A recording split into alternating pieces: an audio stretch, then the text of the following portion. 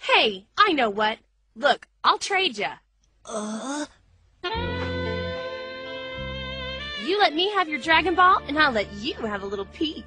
what do I care about seeing your dirty old fanny? It is not dirty, you rude little boy!